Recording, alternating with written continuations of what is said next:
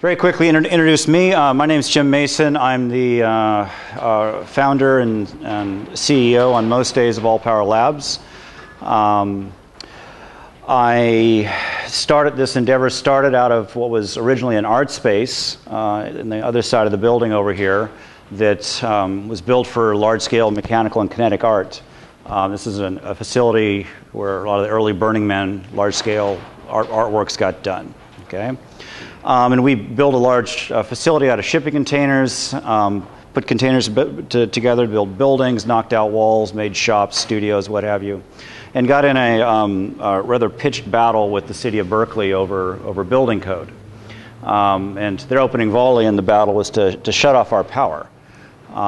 And we were, we were unimpressed with this opening move and thought we were actually doing interesting things, reusing materials and um, kind of ecologically interesting, creatively interesting, so we fought them. Um, and while we fought them for the next six or seven years, we had to generate all of our own power. So, a group of kind of creative, technical, engineering types that on the weekend were slumming um, doing artwork um, while doing engineering during the week, suddenly got very involved in power generation and conversion. Okay? And after long and, long and winding road, I got fascinated with gasification. Um, and slowly the art space has faded, or the build space has faded, and is now the, the, um, the biomass gasification startup that uh, you know and why you're here. Okay? In the interim, we went, ran the facility off grid for about six or seven years. We generated all of our own power in the middle of the city of Berkeley. It's like a little libertarian tree fort in the middle of the nanny state. Um, they didn't like us very much, but however, at this point, they like us very much, and we're a poster child for what's called the Green Corridor through uh, West Berkeley, Emeryville, Richmond, uh, that is trying to, to have this be a center of kind of green tech manu- um, uh, uh, design, build, manufacturing. Okay, so they're going to be coming, I believe, later tonight to issue us a proclamation about how what wonderful contributors to the city we are. Okay, so that's our origin story. Cutting to the chase. Why, why are we bothering with all this? Well, um, the the the macro point of gasification is um, it, it offers the potential to connect the pre existing energy system of the planet, which is photosynthesis, with the largest industrial energy system on the planet, which is internal combustion of some type, one type or another. Okay? We have a tremendous solar energy collection, densification, storage system going on globally. It's churning out stuff. Um, that stuff is often waste. It's a problem. We're trying to get rid of it. It's often free. Um, and inside of it, what uh, you know, those are called plants. Those are called organic debris. But inside of that, what it's made up of is the same atoms that we make up fossil fuels. Now the problem is that they're in the, the wrong form to actually be terribly useful. Um, they come in sticks and grasses and things and whatnot that don't really go down carburetors too well. Um, but atomically, what is there in potential of energy, as well as the potential of transforming those into useful products, it's the same stuff that we're, we're making things out of fossil fuels. So the, the aha on gasification, or the big concept, is if you can get these solid materials into a gaseous form, um, you know, ma- maintain their, their, you know, recombine their chemistry, get them into various sorts of gases. You can now enter these into typical energy expression machines that we have everywhere and we've fully, fully optimized. And those are internal combustion engines and combustion devices of one type or another. So, um, we around here refer to this as the Mr. Fusion. Now, the actual technology of the Mr. Fusion was, was not fully laid out, but oddly, with gasification, you have the potential to make this thing approaching an agnostic converter. You put bad things um, into it that are all around us and free, um, and good things come out of it in the form of energy and various sorts of products. So, we're trying to work on gasification as, as this bridge that moves between these, these pre existing massive infrastructures. Um, the massive infrastructure of photosynthesis that's largely it's not producing oils and sugars, that's a very small portion of it. The cellulosic part is the huge portion of it. Okay? So we're trying to get a bridge between that and our, our internal combustion engine infrastructure um, and do that at a scale that relates to actually how energy is consumed in the end. Um, biomass is a very tricky resource in that it is it, it's not localized. Um, we, we tend to not have very dense uh, sources to get it. It's very different than an oil well or a natural gas pipeline or a coal mine. You don't have density of sourcing, so it becomes very difficult to operate very, very um, large scale um, plants to convert it. Okay?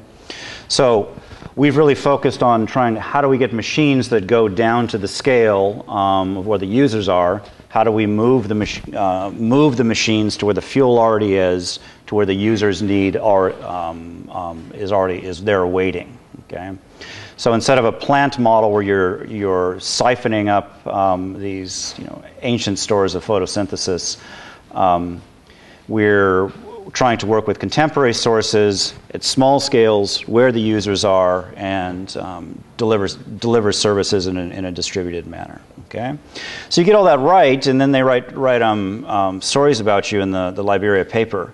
Um, as you see here. So uh, we were just over in Liberia as well as Nigeria. Um, there's going to be some reports on that later in the weekend. Uh, what? And Kenya uh, and Italy um, and soon to be Uganda. So um, uh, there's a very large project going on in, in Liberia to use these as, as um, micro utilities and uh, distributed rural electrification. Okay. Now, taking a step back, um, the gasification is one of many conversion pathways of biomass um, the, the materials and energy that are packed into the bonds in biomass can be extracted in multiple ways. Um, those ways, uh, and so gasification is not the silver bullet. It's not the way you always want to do this if you have a, a waste, um, a waste biomass. Um, depending on the composition of the biomass, whether it's wet or dry, um, depending on what you're trying to get to out of the end. There's a whole variety of conversion pathways to work on. So, um, this graphic here uh, tries to, in somewhat questionable graphic um, success, lay out the, ma- uh, the main pathways that one can work on. It's divided generally, the laser that doesn't work, oh, here it is, okay. Um, whether you're doing, doing um, intentional farming to get the thing, or, well, actually, no. Um, this is uh, by, byproduct biomass or intentional farming. You have a basic distinction between the wet and dry processes. Um, in general, if you have a, a dry feedstock, um, it's attractive to take it through a thermal based process. If you have a wet feedstock, one of the um, processes that are okay with water um, and sometimes want water will be more attractive. Okay, so on the wet side, we see things that we typically know, like anaerobic digestion for making um, uh, methane, fermentation, distillation for uh, for processing the sugars, and there's a variety of other direct extraction me- me- um, methods for for um, components within the raw biomass. Okay. On the thermochemical side, um, there's a variety of things moving from very low temperature fracturing of the material, which is pyrolysis, um, up through higher temperature and more complete combustion systems, gasification being a partial combustion, combustion being uh, full oxidation, releasing all the heat, and then a whole variety of uh, liquefaction processes that can either be direct or going through stages of, of gasification or a biological process combined with this. Okay? Out of that, what you get is not one simple thing. You know, it's very similar to what we're, you know, the feedstocks um, and the outputs that we, we see in the fossil fuel world. Um, we get some, you know, in gasification, we're getting a gaseous fuel similar to natural gas, but some of these other processes um, uh, create oils, uh, solid fuels, um, on this side, ethanol, um, various sorts of relevant chemicals here. And then the thing that's not fully really shown here is all of the petrochemical products that you can create once you have the, um, the raw feedstocks. Um, the thing that uh, is in concept fascinating what you can do with a very mature biomass based energy system is you can also engage large parts of the petrochemical energy system or the petrochemical product system. You can, you can use the, the feedstock of biomass once processed into precursors to build up um, various sorts of, of, of chemicals, um, agricultural fertilizers, um, um, um, industrial chemicals that we are currently using fossil fuels to do. Okay? So, the part that we're going to be dealing with in our talk is primarily this. Okay? And there's a whole variety of permutations in that, but of all of these things, all of which are interesting, all of which great work's been going on, um, this is the one that I found less tended, and if solved, um, had this massive infrastructure re- ready to be connected to another massive infrastructure, which is what we're trying to do. Very quickly, th- this, this is a, a flow chart showing that within gasification or within um, the, the, thermal conversion routes, there isn't a, a, single route that gets to one type of gas. Um, depending on the process that you're doing and your feedstocks, you can get to various types of gases and oils of um, varying um, energy content. Okay, and those different different products will be relevant for different types of end uses. Whether so whether you're trying to use an internal combustion engine, or it's just process heat for steam, or you need very high energy density gas to replace um, um, gases in a, in a pipeline, or you need specific compositions to do gas to liquid um, synthesis. Okay, so by what, what, um, what process you pick and optimize, you can get to a whole variety of end products um, just within the, the, the thermochemical um, um pathway. Gasification is fascinating um, in that it, it very quickly re- reveals itself to be the operating system of fire.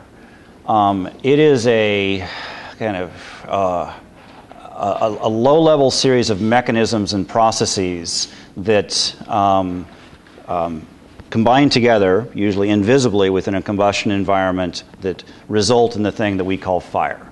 Okay? Now, probably most of us in the room here um, have, have misspent youths of pyrotechnic adventure. Um, I, I, have a particularly compelling one, um, also combined with, with lots of engines and uh, general general racing and boy machine sort of things. And all of those, you know, all of those things we find fascinating all because we like fire. Uh, fire is a very compelling thing, but we often are de- dealing with it as a, as a, as a, uh, as a surface phenomenon, an end phenomenon. And what becomes very interesting about, about gasification and um, why I fell down into the rabbit hole so deeply in it is it really pulls fire apart. It shows you what's going on within fire and lets you just start controlling it for things that are more interesting than just making heat. And so I've ultimately learned more about um, um, uh, uh, uh, combustion engineering in, in, in, engines from understanding gasification that I never ever learned from directly just working in uh, uh, engine engineering. Okay? So I want you to think what we're going to be going through um, in this gasification uh, a series of explanations of gasification is trying to lay out these, these processes and underlying mechanisms. It is not one thing, it's a whole collection of things um, that we can combine in, um, in various ways and control what is coming out at the, the end state of the process. Okay? So these are the tools um, to tame fire.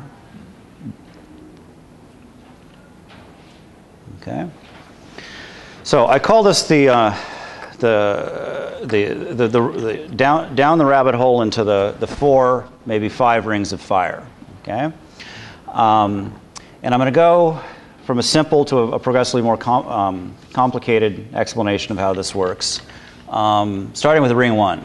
Gasification is most, most simply thought of as an incomplete combustion. If you have a solid or liquid fuel and you, and you, start it on, you, you set it into oxidation, set it on fire, but don't give it enough oxygen to complete the combustion. Um, you have heat that's breaking down that fuel. You'll have gases that will come off of it that are still, still capable of burning. You can add oxygen later and um, get further combustion. So this is how we get like flames to come out the, the, um, uh, the exhaust pipes on a hot rod. Pull the choke, you get too much fuel that comes out, and you light it on the end, and the, the, the, it's, um, coming out rich, and now you get flames out, out, the, out the end of your beast. So you can think of a gasifier in some sense as a, an engine running incredibly rich. The point is to break down the fuel that you put in, the solid fuel, um, into these, these other forms, but not consume it inside the thing. You want to take that fuel away and go do something interesting with it elsewhere. Okay? So a gasifier actually runs at about um, uh, a quarter of the of what would be stoich for full combustion. So you're giving it about um, a quarter of the air needed to completely consume the fuel. Okay, so about three quarters of what's coming out of it is fuel that you can do something useful elsewhere. Okay.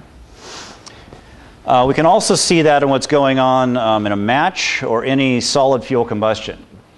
Um, we've all noticed that when you burn some solid piece of wood, um, the fire isn't down in the wood in the beginning. There's usually a little clear section right above the, the, the piece of wood, um, and up above that is where you get the colored flame and, and, and the heat, actually. What's happening there is when you, when you apply, when you light that stick with some other piece of heat, you start fragmenting um, the biomass, and gases start coming out of it, and those gases combine up above it with air, mix, and then give you combustion. Combustion isn't actually happening down here in the wood at the very beginning. It's happening as gases up above here. Okay? So the beginning part of, of any solid wood fire or solid fuel fire is a gasification process that, that brings gases out of it and then burn over the top of it. Okay? As it goes along later, it starts burning the remaining carbon there, or the charcoal, so you will start getting oxidation right on the material, and that's when you see the glowing orange um, coals. Okay? So, you can think of gasification also in terms of a match here. The goal is to start this process going that gets us a bunch of gases and then intercept the process and prevent it mixing with air, but instead stick a pipe right where that clear gas is pipe that off somewhere else to, to do useful work with it. Okay? So, some other things that we see operate on a similar principle um, a backdraft in a house. Okay? A backdraft in a, in a fire in a house is when you've had a huge amount of heat, start to break down the wood, um, you fill the environment with, with uh, flammable gases, and suddenly um, something opens and you get, a, you get a, a big plug of air that comes in and the whole thing goes up. Okay? So, solid fuel combustion always has this very interesting character. You have the solid thing you're starting with, but really what's burning is the, the gas. And you, and you, but you can separate those. You can apply the heat to the solid, get the gases to come off, and then take those somewhere and then do other work with them that you want to do and control when you're adding oxygen to them. Okay? Now, um, the problem with that explanation of gasification as incomplete combustion um, is that, it, that it's wrong. Um, well, it's not actually wrong, but it's, it's, um, it's sorely incomplete and incomplete to a point that it's, it's not terribly useful. Um, so, as a, as a a summary of what's going on, yes, you can call it incomplete combustion, but how it's getting there is through discrete steps. Um, and those steps are called the, the uh, four stages of gasification. Steps are drying, pyrolysis, combustion, and reduction.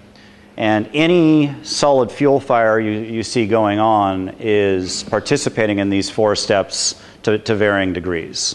Okay? Um, so I'm going to go through these. Um, I'm going to go through them in the order of what, what typically is easy to understand and the ones that are less easy to understand. Okay?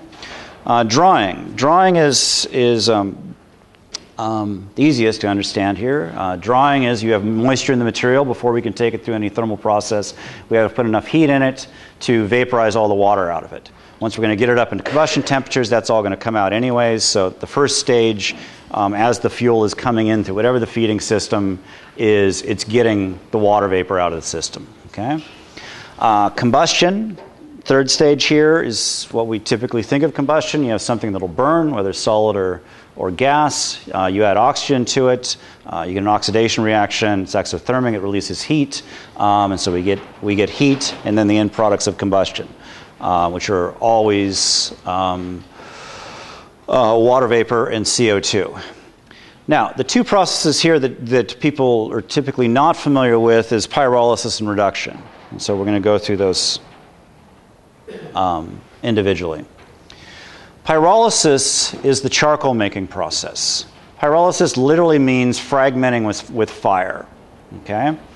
If you take a piece of solid biomass and add heat to it, like we were, like you saw in the match there, as the heat um, rises, you'll start breaking bonds in that biomass, and um, gases will start to come off of it.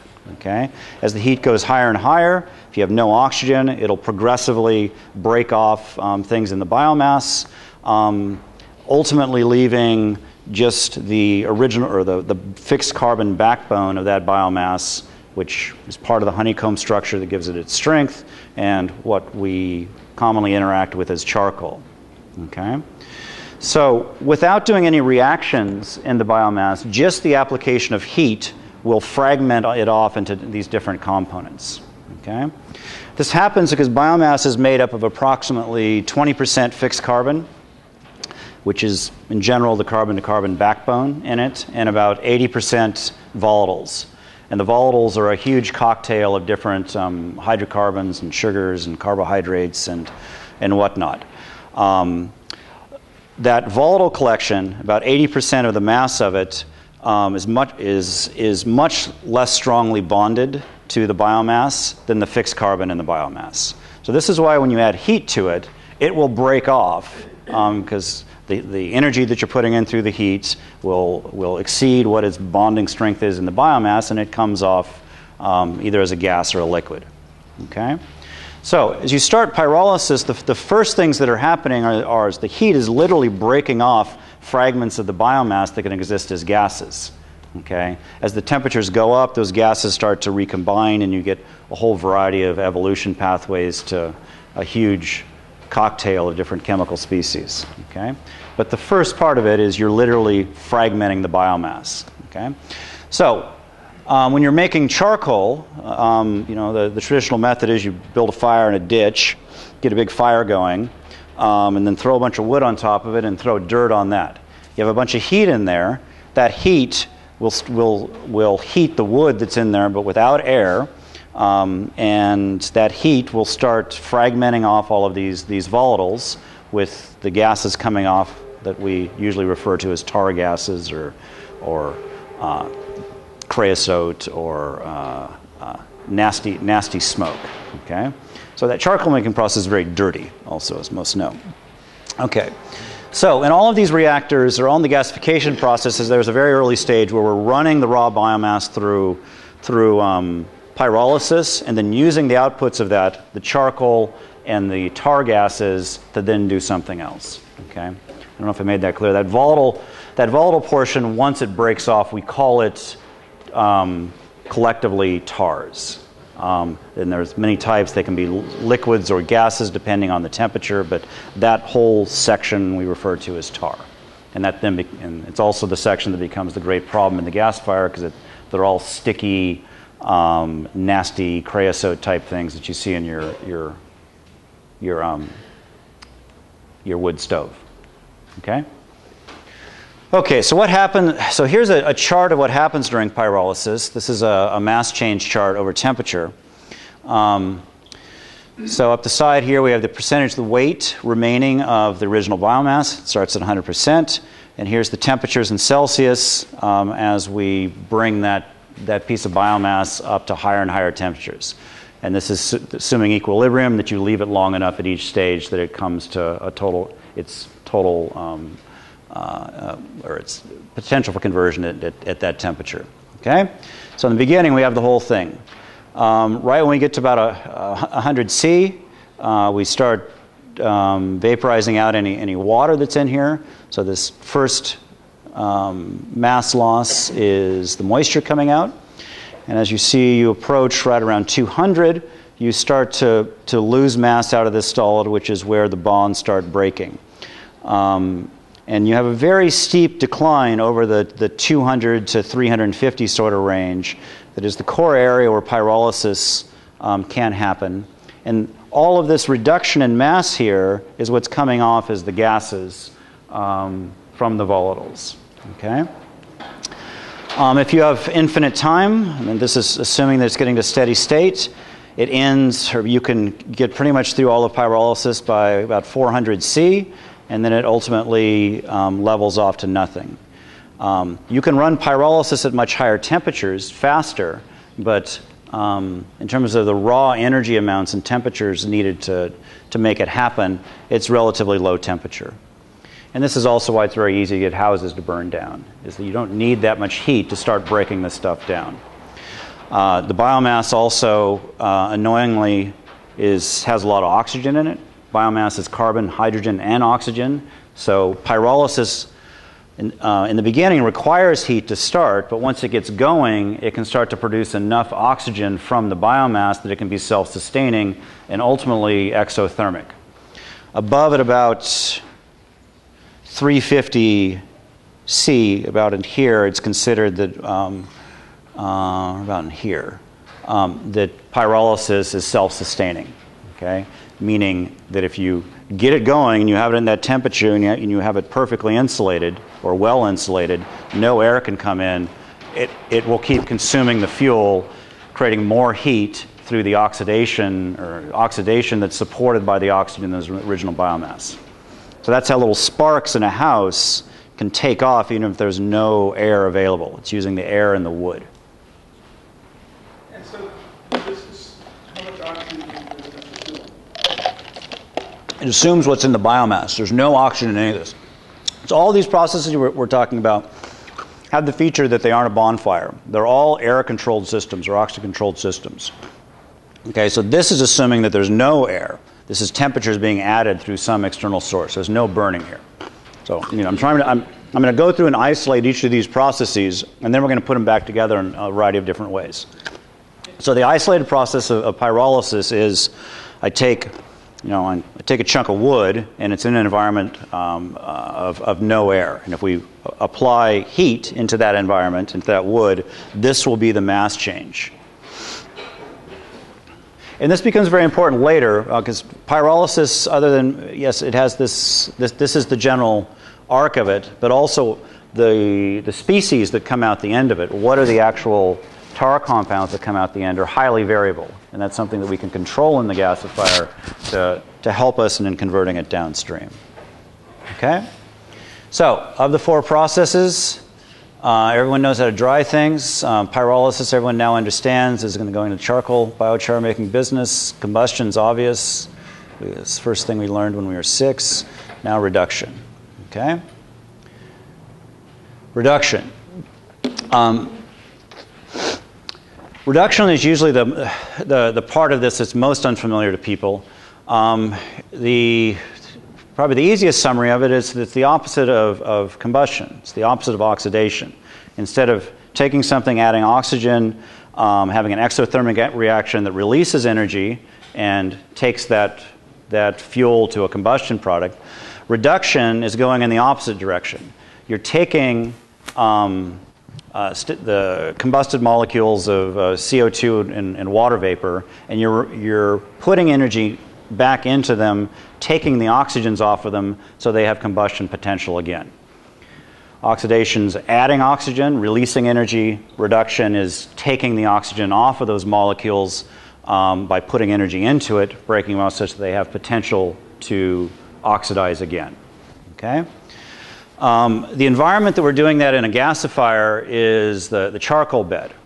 Um, the charcoal, if you, if you take an, um, CO2 and water vapor over a red hot charcoal bed, the charcoal is, again, the charcoal is all C, it's glowing red hot charcoal, it's highly reactive, and it's actually more reactive to the oxygens that are sitting in these two molecules than the bond with that water and, and CO2.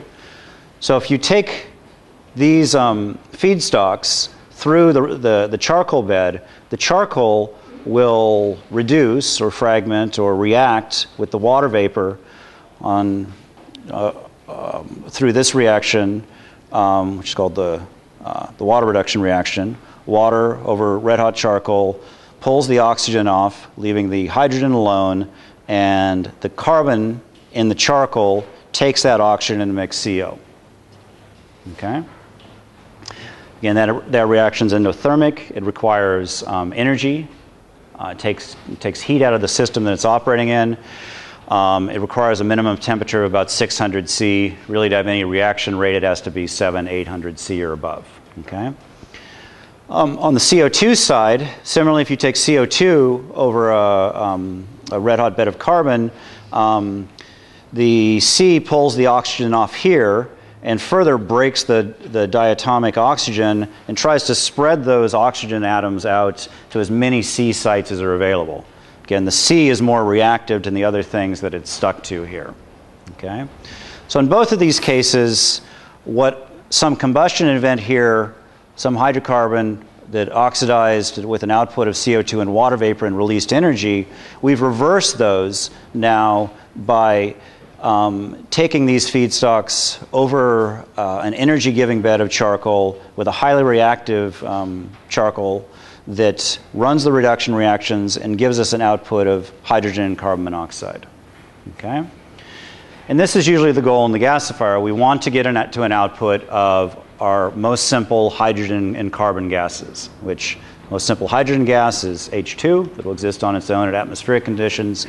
And the most simple carbon gas, is, uh, at least you have presence of oxygen, is CO. Uh, carbon itself doesn't like to exist as a gas until things get really hot. I forget how hot, something like 3, 3000 C or something. It's very hot. So if we want it as a gas, we have to combine it with some other things. Okay? So, um, what we're usually doing in a, in, a, in a, gasifier is setting up a situation where we, we, we create combustion, get to these, these end products of combustion here, we create heat, and then take those products back over a charcoal bed that um, runs these reduction reactions and gives us the outputs that we want of hydrogen and carbon monoxide. Okay? All makes sense. So, those are the four processes that you will see going on in any gasifier drying, pyrolysis, combustion, and reduction. Um, they're here in their, their, um, you know, their, their temperature order. Um, they, but actually, the, the, order in which these happen in different types of gasifiers um, move around. Okay? So, any questions on that before I go to show how these actually work in a, a gasifier? So, did the early gasifiers, like during World War II, were they using the, the uh, reduction? Yeah, they're all using it. So, I mean, this was these reductions were actually discovered in in, um, in steel making. They're very important for um, um, doing various processes in the in the the molten pool. Okay, um, so it's interesting to see. Like we usually think, well, how do you get to hydrogen out in the world? We usually think, well, it's an electrolysis thing. We're going to have to run electrolysis to break the water with electricity. Well, there's this other very interesting path of getting to hydrogen by using water.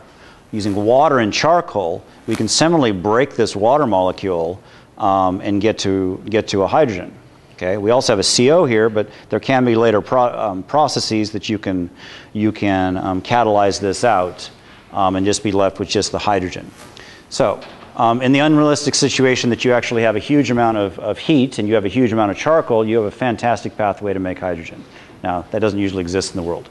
But um, uh, I was curious to find that I'd always considered hydrogen to be a you know electrolysis, everyone's um, kind of assumed making method, and um, there is this direct thermochemical route um, using very low technology to do it.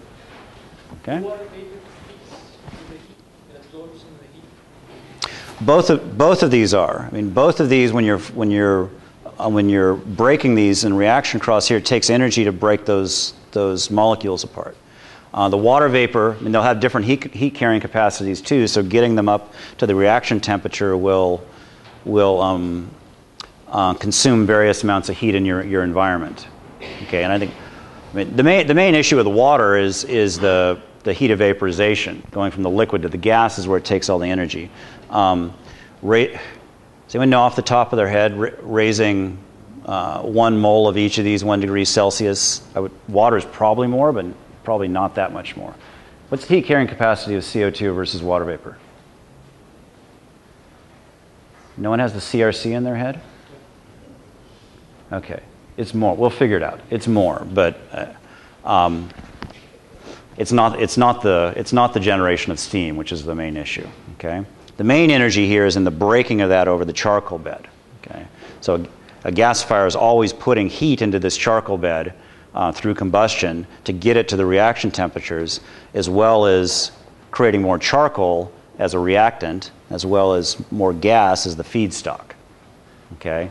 And interestingly, combustion provides the feedstocks you want, provides the heat, and if you do it um, cleverly, you also get the charcoal that goes in. So the output is the, the CO and H2. Okay, so how, do, how does this work in actual reactors? So what we're going to do now is we're going to come back to these four processes and say and, and um, lay these out as to how they operate in real reactors in the world. Okay? And we're going to start with the most, the most simple reactor, which is called a, well, an updraft gasifier using charcoal only. Okay? And we're going to start with charcoal because it, it simplifies the process a bit and shows you how, how the, the, the, the core importance of reduction in this. Okay? Again, remember the point here is we're starting with a solid fuel and we want to get a gas out of it. Um, the solid fuel we're starting with is made out of carbon, hydrogen, and oxygen. The most simple gases that we can get to out the end of that are hydrogen and carbon monoxide. Okay? Um, I guess I should point out the obvious carbon monoxide is a fuel. We don't usually think of carbon monoxide as a fuel, but it's actually um, a quite wonderful fuel. Um, it's very bad for us. Uh, but in terms engines um, are, are, are, rather happy with it. Um, its energy density by volume is about the same as hydrogen. It has a flame front speed about the same as propane. Um, it burns incredibly clean because it's not a big molecule that has to be fractured apart. It takes one oxygen to go to the end state of combustion, like hydrogen. Hydrogen is a very clean burning fuel because you don't have this big long chain hydrocarbon you're trying to break. Just starting your feedstock is ready to react. There's no preparatory work. Okay? And ultimately, this is why gasifiers can uh, gasifiers that are powering engines, the engines can have very good emissions because the gasifier is like a big pre-combustor that's breaking all these complicated fuels down into very simple gases that have very short and simple combustion steps. So you get very clean emissions out of it. Okay? Now that assumes the gasifier isn't a disaster, which is the usual case. Um, so you, you have to not have the, the, the pre-combustor, the gasifier, making a disaster such that you can you know, put the instrument in the engine and, and feel proud. Okay? So, um, in this case, okay, all, of, all of these thermochemical um, uh, reactors are assuming a controlled air environment. None of these are, are, are um, uh, open wood fires. None of these are bonfires. Though you can also look at the, the, the microscale of what's going on down in pores of wood, and you see permutations of these processes going on. Okay? But we're going to deal with this on the macro scale of we have vessels with tanks, lids, we're controlling where the air is going in, and we're controlling where the gas is going out. Okay? So, imagine you have a, a vertical vessel here. Um, we have a place on the bottom for air to come in, and a place for gas to go out the top. Inside of it, we fill it with charcoal. Okay, if we bring a torch in here, light this charcoal on fire down in here in the base, we'll, we will, um, after a bit, we will get combustion here. Um, combustion is, of course, happening from the air. Um, as we combust, the minerals that are in that charcoal are going to fall out of the charcoal down here into the ash pit. Um, and they're probably going to slag and annoy us, but in principle, it's going to be ash. Um, but what happens up in here? The air is going to come in here. It's going to um, combust or oxidize the, the charcoal that's available here, propagating forward to the point at which it runs out of air. Okay? The combustion lobe here will go until there's no more air to support any more combustion of the charcoal. Okay? So there's a lobe limit or a distance limit before this runs out of air in the bed and it, the combustion has to stop. Now, while the combustion stopped, we also well, uh, we haven't stopped the, what's the potential for reaction. At that point where the combustion stops, we have a tremendous amount of heat that's been generated by that combustion, and we have a bunch of CO2 and water vapor that just came from the combustion, and we have a whole bed of charcoal here that's now hot from the, these gases being um, pulled up through here. Remember, to start this, we're either pushing the air in or we're pulling the gas out. So there is flow through this vessel like this. Okay? So, what happens is air comes in, combustion propagates forward until the point that it, um, we've run out of air for any more combustion. Now, the heat, the charcoal, the CO2, and the water vapor start running the reduction reactions. Things reverse. Instead of adding oxygen, releasing heat, we now pull the heat back in um, and release the oxygens back off of the, the material. Okay? You're, you're pulling the heat into the upper section. Now you're pulling the heat in, into uh, chemical reactions. We're now going to convert the heat that was generated down here, the heat energy, into chemical energy through the reduction reactions. Okay? So reduction and combustion are, to an approximation, equal and opposite reactions. Combustion propagates forward um, until we run out of oxygen. Now, now um, we reverse, and now we mine that heat back out into chemical energy through the reduction reactions that we saw here. Okay? So we're coming in, we're burning to these two things, and at the point we run out of air in that bed, we have water vapor, CO2, carbon, um, and a ton of heat. So these reactions run, producing uh, our desired outputs of H2 and CO. Okay? So again, the, the, the um, combustion and reduction in a, in a controlled tube are equal and opposite reactions. You can take a long tube, fill it with charcoal, start air down one end. The combustion will propagate forward until where the air runs out, um, and then the heat and the CO2, water vapor, and the charcoal will re- reverse that and start mining that heat back out in the reduction reactions, producing CO and H2. Okay? Know, and this is how you get into CO poisoning in a, in a wood stove um, in your cabin. So you get a huge amount of heat in there, um, lots of glowing red charcoal, and now you, you, know, you shut the vent and you no longer have enough air to complete, um, to complete the, uh, the burning of the gases that are coming off of it. So you get a little, air comes in, you get a little bit of combustion, and now those combustion products, the CO2 and water vapor, react with the charcoal. They reverse, go in the other direction, and pr- produce um, CO and hydrogen. Okay? So, see, these are equal and opposite. One's an oxidation reaction, one's a deoxidation reaction, returning us to the original fuel gas. Okay? Combustion is releasing uh, thermal energy, reduction is intaking that thermal energy and making it chemical energy.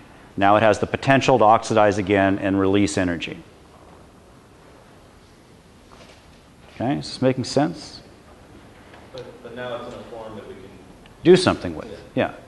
Right. So the point of getting it to a form that's a gas that's clean that we can use in an engine is what we want to do here. Okay? So the solid didn't go down the carburetor very well. We'll see later that the, the pyrolysis gases go down the carburetor for a bit until you stick the engine.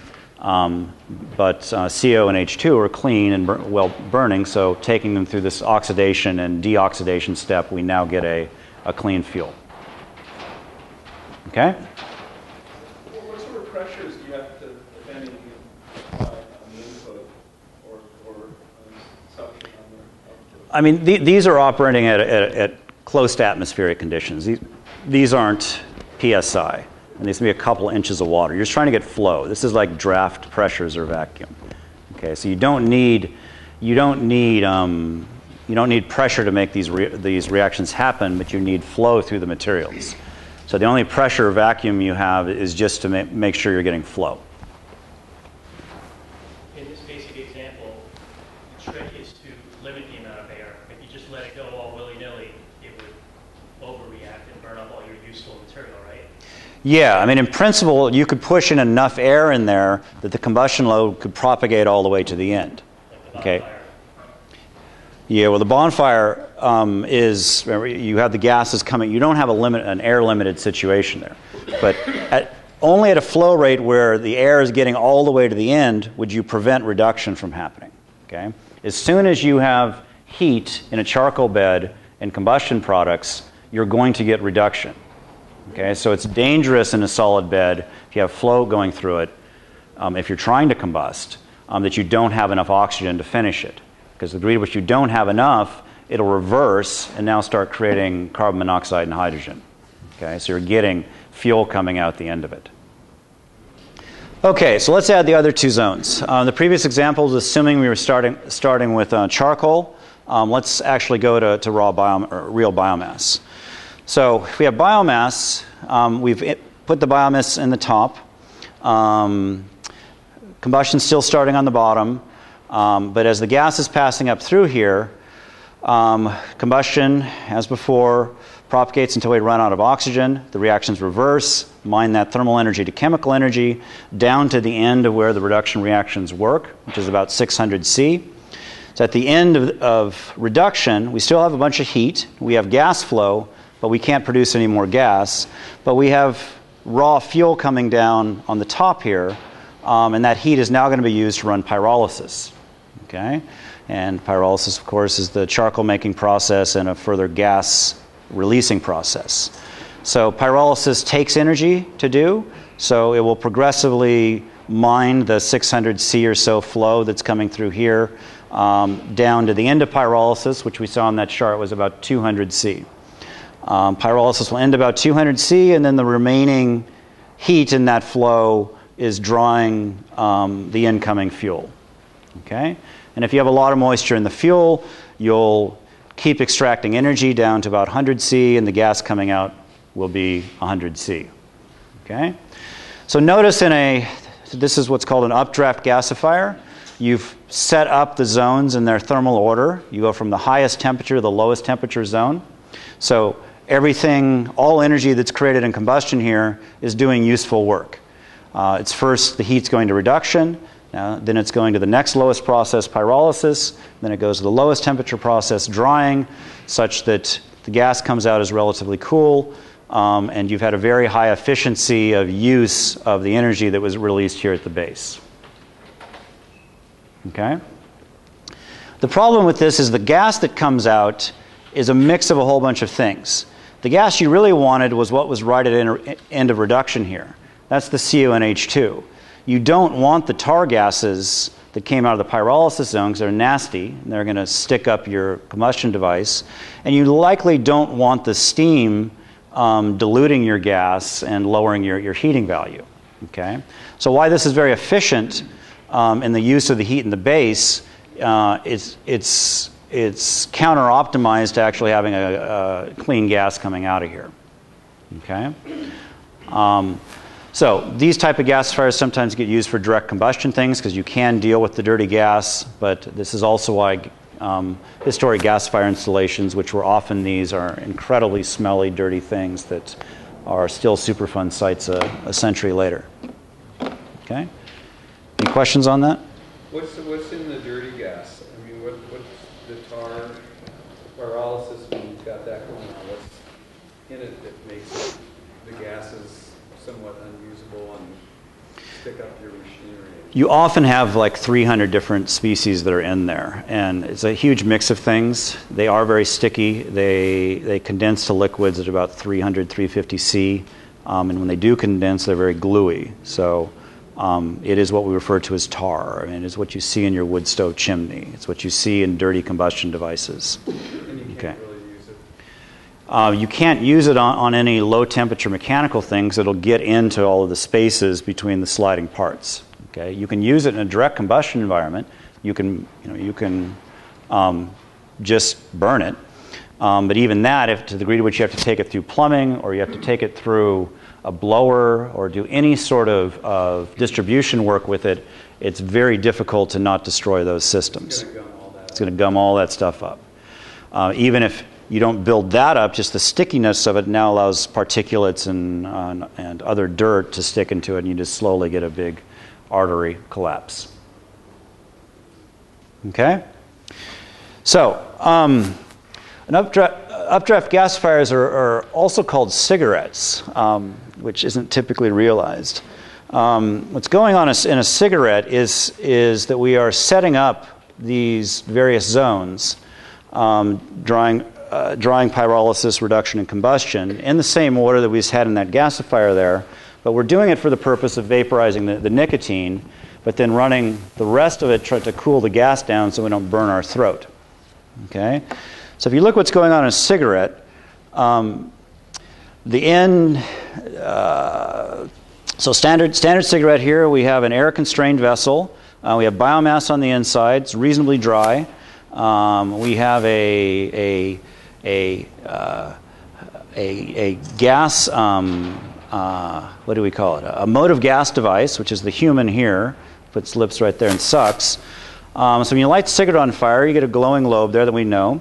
we get oxidation. Um, air is pulled in, we get oxidation to the point um, that we run out. We can't get any more appreciably coming through the side of the paper.